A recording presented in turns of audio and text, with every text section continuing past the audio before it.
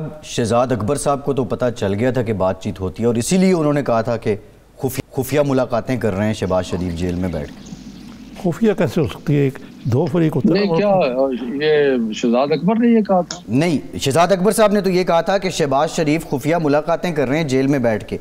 अभी हालिया गिरफ्तारी के बाद।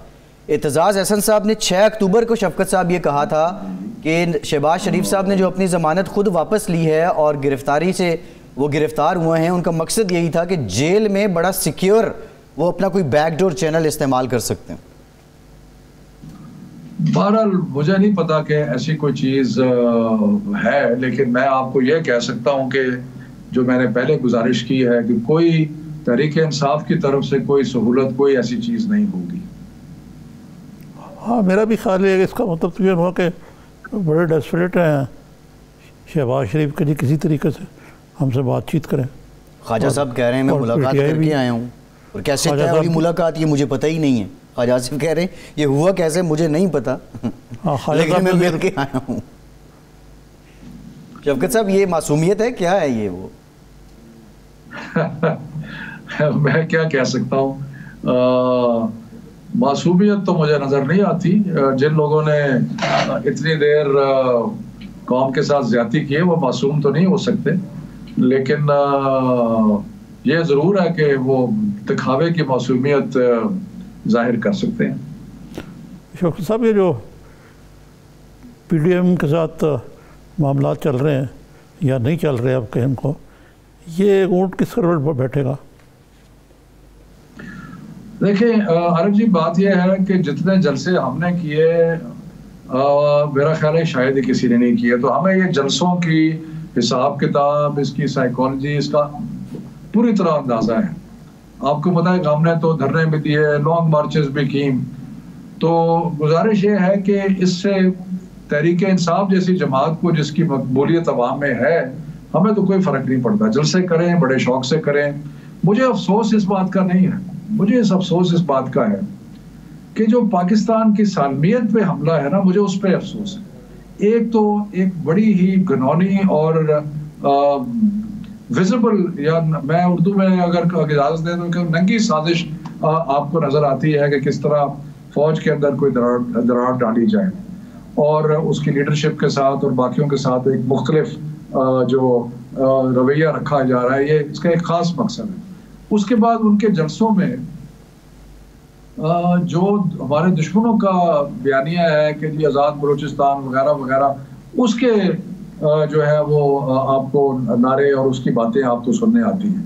कभी उनके जलसों में वो कहता है कि जी उर्दू ज़बान जो है कौमी ज़बान हम तस्लीम नहीं करते। तो ये चीज़ें जो है ये आ, मेरा ख्याल है कि पाकिस्तानी कौम को एक्सेप्टेबल नहीं है।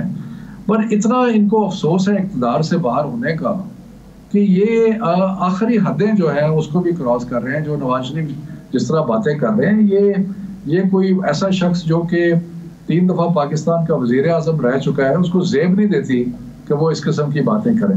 हम हमें जो मर्ज़ी कहें हमें हमें देखें हम सियासत में हैं हमें कोई फ़र्क नहीं पड़ता। हमें सुबह शाम रात जो मर्ज़ी गालियाँ दें बुरा बुला कहें हमारे प्रो, प्रोग्रामों को हमारी प्लान्स को पॉलिसीज़ को क्रिटिसाइज करें। कोई फ़र्क नहीं पड़ता। ये पॉलिटिक्स है, हम भी उनको करेंगे, वो हमें करें लेकिन खुदारा, जो कौमी इदारे हैं, कभी जुडिशरी को टैग कर देते हैं। आपको पता है आरिफ जी, आपको तो सारी चीज़ों का पता है कि किसी आर्मी चीफ से नहीं बनी इनकी। नाइन्टी थ्री के बाद। उसके बाद प्रेसिडेंट जो लगारी और गुलाम इसाक से नहीं बनी। उसके बाद चीफ जस्टिस से सजाद अली शाह उनसे। यानी कि जो शख्स इनको, इनकी जो बिला शिरकत गैर हुक्मरानी को चैलेंज करता है उसके पीछे पड़ जाते हैं।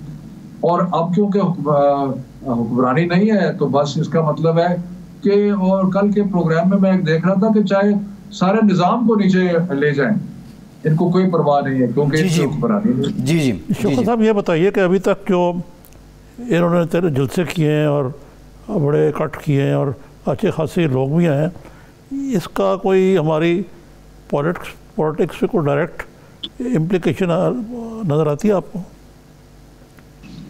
अरे ये मुझे बताएँ कि इम्प्लीकेशन क्या है। इम्प्लीकेशन सिर्फ़ ये होती है कि ऐसी चीज़ों में कि उन्होंने ठीक है अच्छे जलसे हुए हैं। इतने अच्छे भी नहीं हुए गुजरा वाला का तो बहुत ही कमज़ोर था।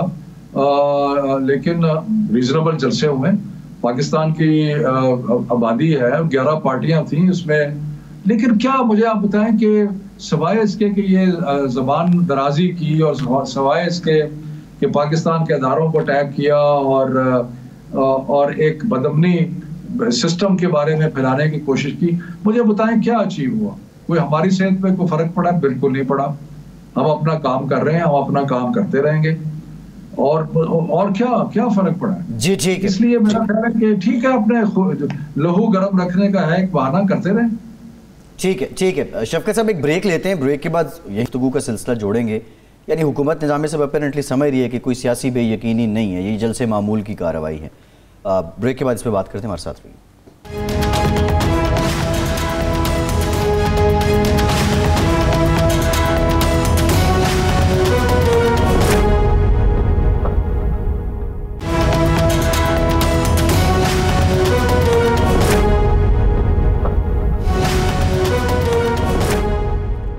ब्रेक के बाद एक बार फिर से आपको खुश आमदेद कहेंगे, शफकत साहब, ब्रेक से पहले हम कुछ बात कर रहे थे कि ये पीडीएम की जो सारी मूवमेंट है, ये जलसे हैं। एक तो ये बताएँ, आपको क्या लगता है मुल्क में ये सियासी बेयकीनी पैदा कर रहे हैं, सियासी बेयकीनी है? और दूसरा, हम ये देख रहे हैं कि इतवार के रोज़ कोयटा में दहशत गर्दी का वाक़ हुआ, आज पिशावर में हुआ, सात लोग जान से गए हैं। फिर इसके साथ साथ जो आज कश्मीर के जो तिहत्तर बरस हो चुके हैं भारत की गासबियत के वहाँ पर फिर जो इलाकाई हालात हैं, अजीत दोवल की धमकियाँ हैं, इन सारे मामला में अगर मुल्क में इस तरह का सियासी हिजान रहा तो फिर तो बात बहुत आगे निकल जाएगी। देखें जो तो दहशत गर्दी हो रही है, वो तो वाकई तशवीशनाक भी है और उसका मुकाबला भी पहले भी किया है इन अब भी होगा। और उसको हमें सीरियसली लेना चाहिए और ये नहीं सोचना चाहिए कि ये जंग जो है वो ख़त्म हो चुकी है। इसी तरह एक जंग कोविड के खिलाफ भी है और उसके बारे में भी इधराक कुछ लोगों को कम होता जा रहा है। लोग समझते हैं कि जी कोविड की जंग जो है वो जीती जा चुकी है। बहुत अच्छी परफॉर्मेंस थी गवर्नमेंट की, लेकिन जंग अभी जारी है।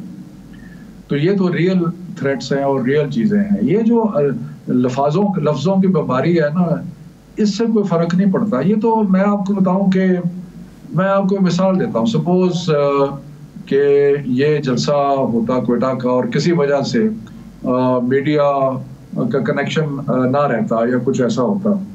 तो किसी को कोई खबर ही नहीं होनी थी कि क्या हुआ। तो ये जो गर्मा गर्मी है ये अल्फाज की गर्मा गर्मी है अल्फाज की बीमारी। और ख़ास तौर पे नवाज़ शरीफ क्योंकि बाहर बैठे हैं और यहाँ पे वहाँ बैठ के इनकलाब लंदन से बैठ के बर्पा कर रहे हैं। तो वो वो वो ज़रा ज़ुबान की ज़्यादा चलती है, क्योंकि पाकिस्तान में होते तो ना चलती। बाहर है तो इसलिए ज़रा ज़्यादा चल रही। तो मकसद ये है कि ये कोई ये वर्ड्स हैं, वो, ये वर्ड्स जो हैं, ये एक एक आप समझें एंटरटेनमेंट भी कह लें एक पोलिटिकल गर्मा गर्मी भी कह लें, लेकिन इसका रियलिटी से रियलिटी वो है जिसका आपने ज़िक्र किया। रियलिटी है दहशत गर्दी रियलिटी है कोविड के खिलाफ। रियलिटी है जो कश्मीर में जिस तरह कश्मीरियों पे जुल्म किया जा रहा है और जिस तरीके से एक बरबरीत का एक दौर, दौरा है, वो रियलिटी है। ये कोई रियलिटी नहीं। शफकत साहब, लेकिन एक बात की मैं कंसीड करूँगा कि हुकूमत ने ये सब कुछ होने दिया। आम ख्याल था कि ये हो, ही नहीं पाएगा। हुकूमत इजाज़त नहीं देगी, पाबंदियाँ लगाएगी, कदगन लगाएगी। लेकिन आपको बड़ा इसका सो फार मैं ये कह कहूँगा कि इसका फ़ायदा हुआ है कि एक तो आपके जमहूरी क्रेडेंशियल जो हैं, वो कुछ न किसी हद तक इससे इस्टेब्लिश हुए हैं कि जी, आप इतने को घबराए नहीं हुए अपोजिशन के बड़े बड़े जलसों से। करें, शौक से करें, लेकिन अमन वमा कर ख़राब ना करें। और इतफाक़ से यानी कोई, मेरे ख्याल से कोई पत्थर भी नहीं जी जो तो ये लिहाज से एक अच्छी चीज़ है और मच्योर कौम के हैसियत से हमने इसको बड़े अच्छे तरीके से हैंडल किया।